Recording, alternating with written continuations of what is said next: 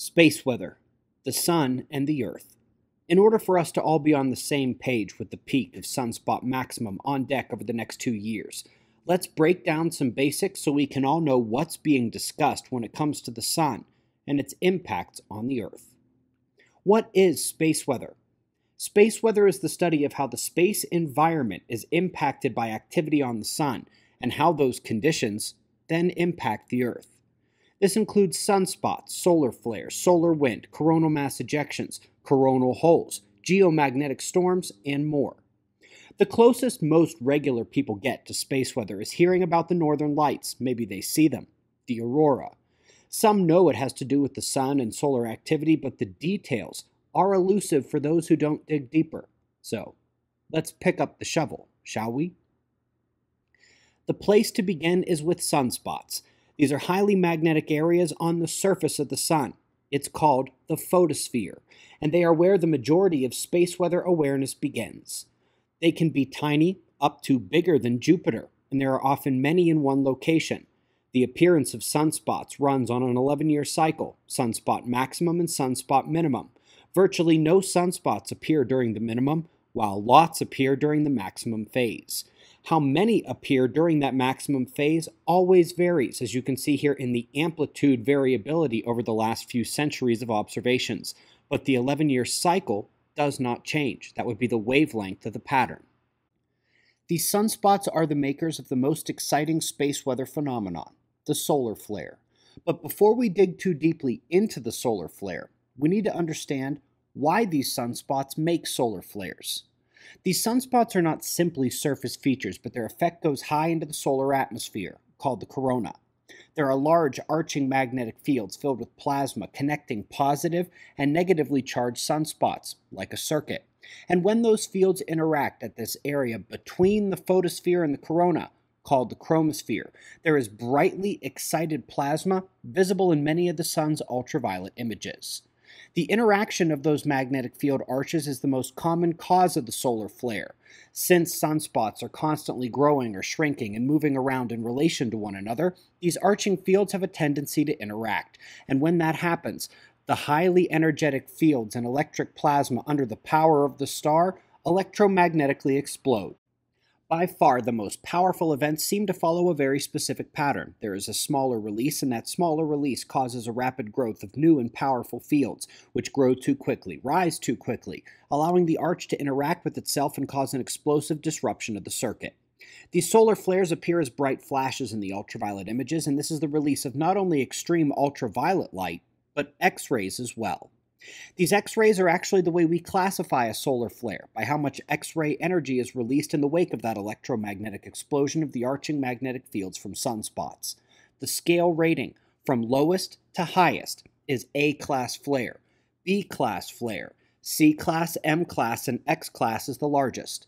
These flares can be further classified into two types, impulsive or short duration flares and long duration flares. The long duration ones tend to be more explosive, and here on the X-ray flux chart from the GOES satellite, we can see a few impulsive C-class flares and then a long duration M-class flare.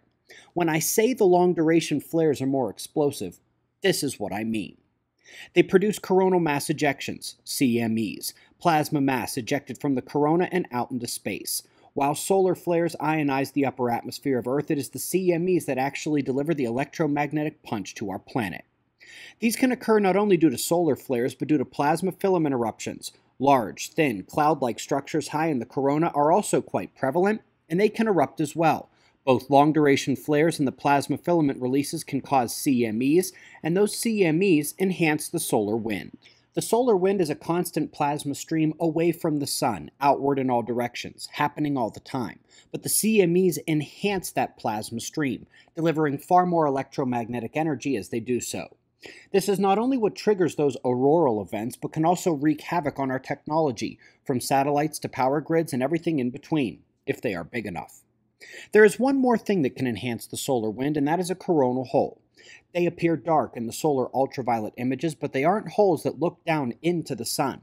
They are simply empty areas in the corona, ergo the name coronal holes.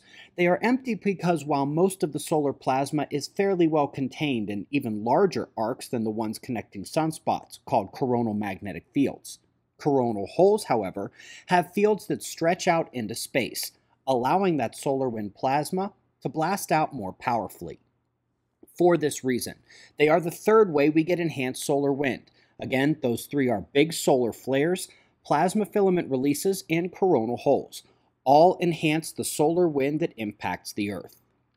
Solar wind is monitored at all times by several different satellites. From top to the bottom, looking at the solar wind data, we see the measurements of the magnetic field strength embedded within the plasma stream, then the magnetic angle of the field in blue, then solar wind density in the middle, plasma speed of the stream second from the bottom, and finally plasma temperature in green down below. The solar wind shows very different characteristics when you're looking at a CME versus a coronal hole stream. In this data, you can see how there is a jump in the telemetry factors all at the same time. That is the impact of a CME. However, a coronal hole stream doesn't change all the telemetry at once. These begin with the rise in density, and it is followed by a rise in plasma speed and temperature. This is because instead of a CME shockwave, a coronal hole stream is simply a faster stream in the solar wind that acts like a shovel through snow, piling up the density on the leading edge, and after that initial density bulge like snow on the shovel blade, the faster coronal hole stream particles arrive. Did you know that we can generally predict whether or not a sunspot group will erupt solar flares? In addition to visualization of the active region sunspots, their magnetism is seen by neutral iron characteristics in something called a magnetogram instrument on satellites. An alpha class sunspot is dominated by one polarity, either red negative or blue positive, and they are least likely to erupt. Beta class have both polarities, and generally that classification is needed to get any kind of significant solar flare. Further enhancements are gamma and delta class. Gamma class is when you cannot separate the positive and negative sectors with a continuous line, when one is cut off from the rest of its like polarity spots. Here, in the middle, the blue positive spots cut the red spots into two groups, making it gamma class. And finally, delta class is when you get positive and negative closely interacting, basically bumping into one another. That's where you get the highest of all chance of bigger flares. Once a solar flare, or plasma filament releases a CME, we can begin to diagnose its density, speed, and direction via the SOHO-LASCO coronagraphs. The CMEs are very easy to see on these images and their direction of motion as well. The way you can tell if it's coming our way is by seeing what's called a halo eruption. When you see it going out to just one side, you can be pretty sure it's not aimed at Earth, which is the case for all of these shown here except for the bottom right corner. That one looks like a ring around the sun, and when that happens, we call it a halo eruption, and it is going to impact the Earth. So let's review some of the stuff using the March 2012 solar flare event. The sunspot that came through was very large and complex. It did have the magnetic complexity and the beta gamma delta class range. As it extended its arching magnetic fields, it had the type of interaction we discussed, causing a series of solar flares, one of which was very long duration and released a CME, that's easily visible by the disruption in the corona around the flare point. The LASCO coronagraph showed a halo eruption heading out in all directions, indicating that it would hit the Earth, and indeed it did, triggering geomagnetic storm activity over several days, which can be most easily seen by the KP index charts. Aurora were seen down to mid latitudes, the SkyTerra satellite station was crippled and lost, and there was a 10x increase in cellular disruption, flight delays, and electrical fires reported in the United States and Europe. As most of our regular viewers know, the Sun releases a super flare event every 150 to 200 years, one big enough to cripple the entire world's electrical capabilities. The last one in 1859 was before there was much to destroy. That was 164 years ago, and so we're in the red zone for the next one, which is why it is now more important than ever to monitor the sun. Estimates range from 60 to 90% of humanity will perish when we lose global power since critical systems from water treatment and distribution to heating to hospital functions and transportation sectors would be disabled with nobody coming to rebuild since it has impacted everyone at the same time. So if you see the power go out and there's no thunderstorms and your cell phone doesn't work and the sky lights up with aurora, you can bet it was the sun. We're 164 years since the last great event of this 150 to 200 year cycle, so many of us are likely to see the next one in our lifetimes. We report on the sun's activity every single day, right here. Eyes open, no fear.